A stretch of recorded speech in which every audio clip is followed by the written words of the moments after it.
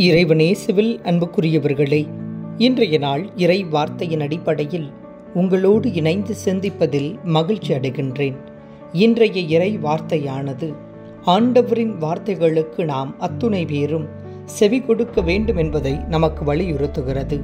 கடவுளின் வார்த்தைகளை வெறுமன வாசிப்பவர்களாக நின்று விடாமல் வாசிக்கின்ற வார்த்தைகளை இதயத்திலிருத்தி சிந்திக்கவும் அதற்கு செயல் வடிவம் தருகின்ற நபர்களாக நீங்களும் நானும் நமது வாழ்வை அமைத்துக்கொள்ள இன்றைய இறை வார்த்தை நமக்கு அழைப்பு விடுக்கிறது.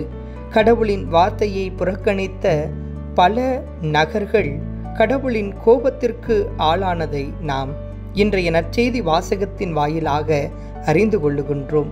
கடவுளின் வார்த்தை என்பது அழிவுக்கான வார்த்தை அல்ல அது உருவாக்கத்திற்கான ஒரு வார்த்தை மாற்றத்திற்கான ஒரு வார்த்தை. தவறிபோன நமது வாழ்வை நெருப்படுத்திக் கொள்ளுவதற்கான ஒரு வார்த்தை.